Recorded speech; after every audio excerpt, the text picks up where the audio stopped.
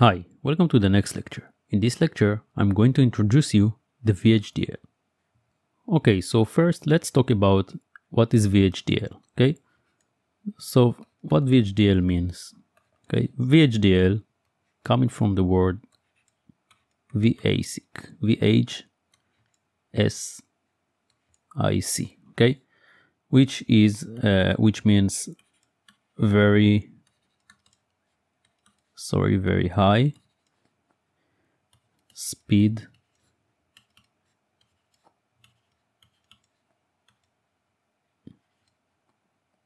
Integrated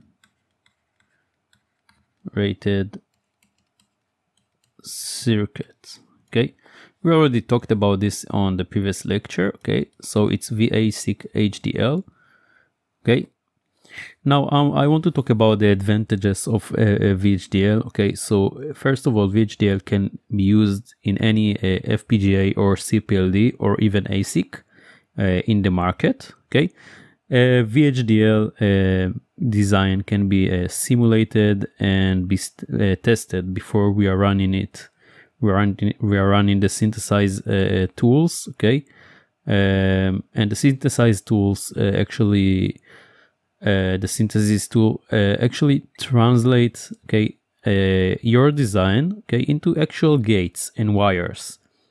And as you remember on the previous lecture we talked about uh, these gates and wires okay? So um, this is uh, something that you need to know. And another thing is that a VHDL programming language is a parallel process okay so if you know a, a, a C language or Java, so everything is serial over there.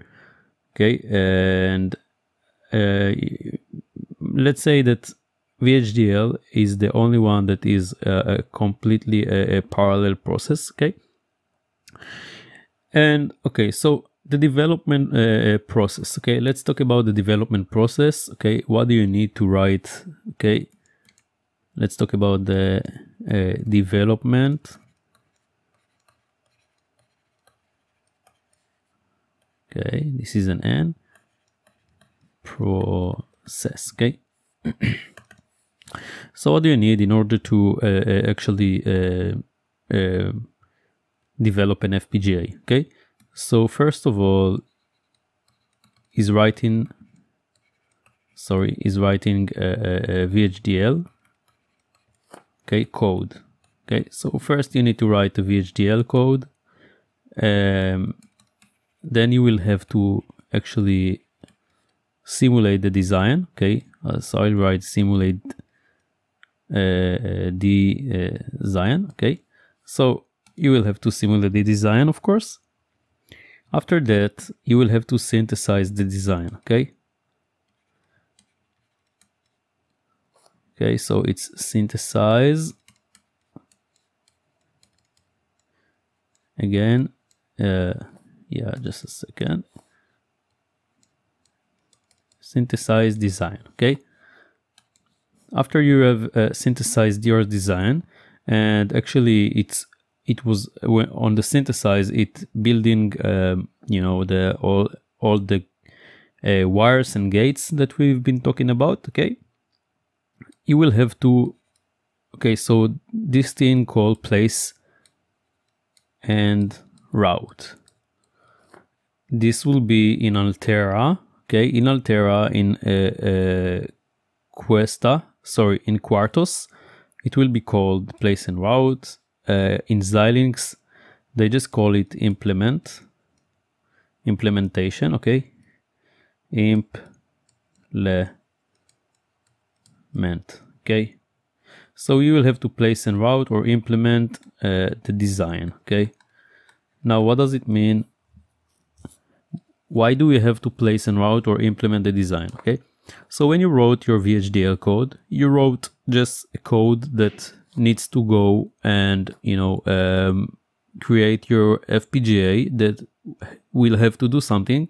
And you don't know um, what FPGA is it going to? Sometimes, sometimes you do, but uh, your code needs to be, uh, you know, general, generic, and it will go. It will you know fit to uh, any uh, FPGA and the place and route actually taking your um, taking what we have uh, got from the synthesized design which is the uh, gates and wires and just place them okay so this actually place them as it's called place and route which is the uh, right name to call it or implement okay so we just place um, the gates and wires uh, so it will uh, fit to your uh, FPGA. Okay, so every FPGA it will do a different place and route, and every uh, you know writing a code, you will have uh, constraints that will make it place and route or implement it uh, different.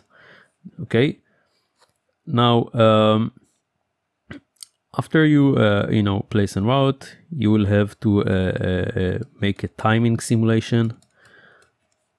Okay? Timing simulation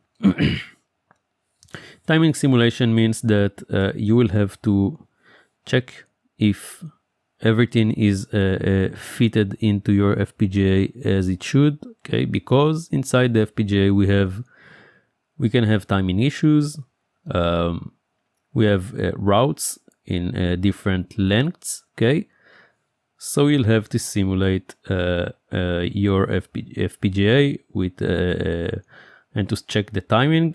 Okay, you can do it in real time with uh, connecting straight to the FPGA. There are many ways to do this. Okay, and actually on the last thing you have to do is actually to program your FPGA. Okay, program device. Okay, FPGA or CPLD, okay, or even ASIC, okay, and uh, the last one is actually same as the uh, timing simulation, but this is not a simulation. So uh, as I told you, you can use um, you can use uh, your uh, JTAG, your connector that you just used to program it used to program sorry the FPGA or the CPLD. So the same programmer uh, called uh, logic analyzer and you can use it okay so we'll call it real-time verification okay so you can use it to make a real real-time verification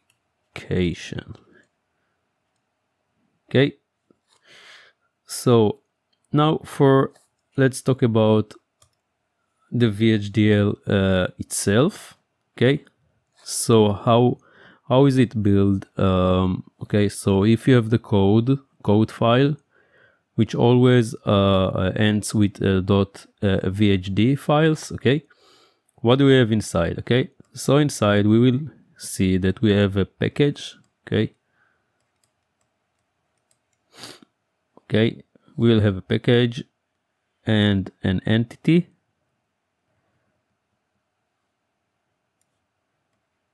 entity these names are uh, uh, saved saved names for uh, for the VHDL code okay and inside the entity you can have uh, architectures okay uh, most of the time you will have one you can have more than one architecture for every uh, entity. Okay, let's just call it one arc. Okay, architecture. This we call architecture, and uh, uh, right here inside you can have uh, your code. Okay, let's just call it process right now. Okay, this will be the process, and let's just uh, okay, on, on the last thing I want to say here is that you, you can have configuration, okay, but but this is uh, not something that you must uh, uh use, okay. So you don't have you don't need to have a configuration, okay, and most of the time you will not see uh, people using this, okay. So let's just I want to talk about uh, this part, which is the most important one which is actually uh, most of the course we'll talk about okay so let's just talk about the entity okay okay so this is the uh, your entity. Okay and right here you will have uh, actually the interface actually the entity declaration. Okay. Entity declaration. Okay. And uh, beneath the entity declaration you will have the architecture okay? So this will be your uh, the body of the code okay? This will be the body of the code okay? And this will be the interface. This will be the interface okay? This will be the body of the code and uh, this will have the architecture okay. And inside the architecture we have uh, uh, we have many uh, uh, uh type of uh, processes okay. So we have a, sequential and combinational processes okay. So it can be sequential okay. Or combinational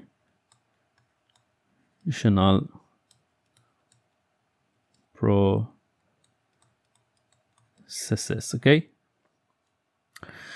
And right inside here you you will have uh, more of a, a sub program okay? Let me just let's just make it a, a little bit larger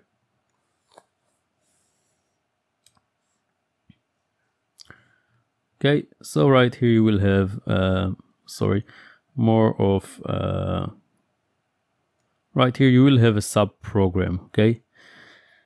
Okay so um, for actually uh, implementing any everything to the uh, FPGA we have the level of abstraction okay? And we have uh, the behavioral uh, level which we are writing our code which will looks like something like this okay and and this will be like algorithms and all the data flow and everything that we are writing inside our code. And when we are creating an RTL when we are synthesized and place when we are synthesized actually we are creating the uh, structural okay? So this is the uh, will be the behave the behavioral part okay and we have the uh, struct structural okay? And what does it mean is uh, the structural part uh, is that we have it we are creating from uh, the behavioral part we are creating gates okay? So let's say that we have uh, uh, this kind of gates okay? And and so on okay? So we're creating actually the gates okay so this is the uh, structural. And for creating a, a physical implementation on the FPGA okay so let's say that this is our FPGA okay. So for creating uh, uh, the physical this is uh, the physical part we need both of them okay. So we need how everything is behaving and we need um, how everything is uh, connected to each other okay so both of them creating me uh, the implementation. Okay so this will be like the place and route. Okay so you just need to know this uh, you know um, you just need to know how uh, everything is uh, created. Okay now this is um, you can you can say that there are a, a um, couple of uh, levels okay for the level of abstraction okay. Uh, you have the uh, uh layout level which describe the layer uh, in the silicon okay. You have the logic level which is the gate level okay that describe uh, all the related to technology and architecture. You have the RTL level which describe um, every register in the design and all the logic between them and we have the behavioral uh, level which describe the functionality okay without uh, uh, uh specifying uh, the architecture if if uh, we have registers. Okay so all of these levels actually creating the physical level okay? So you just need to know this and actually this is uh, for this uh, lecture okay? And i'll see you on the next lecture. And this is it for now and thank you